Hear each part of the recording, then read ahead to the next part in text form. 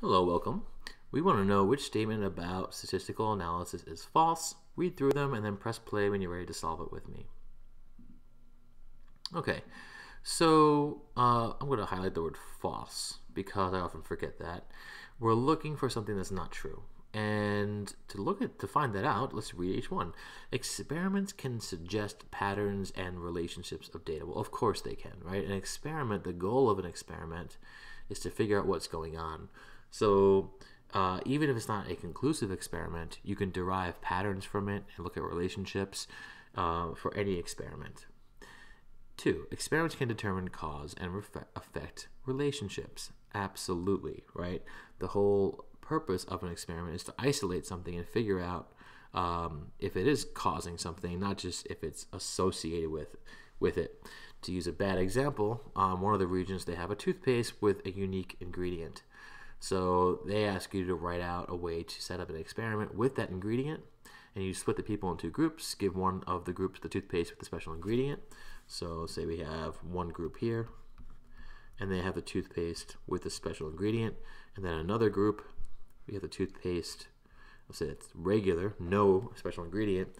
Because there's only one difference between these two groups, and supposedly the groups are large enough to be somewhat random and there's a bunch of people trying the special ingredient a bunch of people not trying the spe- special ingredient.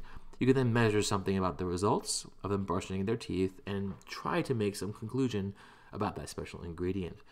You can do that because you've isolated that variable. You've controlled you have a control group that does not have anything different in it and a group with just the one variable. And because you've isolated or tried to isolate one variable you might be able to say something about that special ingredient.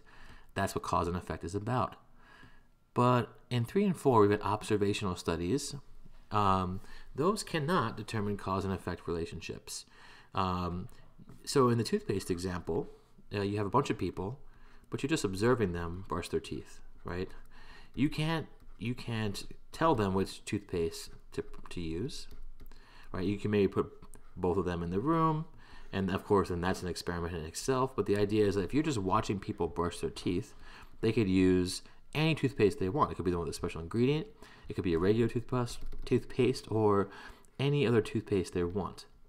I guess if you just put, I should step back for a second. If you just put the special ingredient and regular toothpaste in a room and just gave them those two choices, that would be an experiment itself. Observational would just be let people brush their teeth, watch what they're doing, and take some notes, right? Um, you can't determine cause and effect relationship there because you're not isolating anything. You're just making some observations. So what's the point of that? Well, four is actually true. Four says observational studies can suggest patterns and relationships in data. That's true, so I'm going to cross it out. If you're just watching people brush their teeth, you might learn a little bit about how people brush their teeth, and you might notice a pattern. Maybe people with white toothpaste tend to brush longer. Does it mean that's the reason it's happening? No, you don't really know that, but you can say you have observed it, and that observational study might lead to a future experiment. All right, I hope this helped.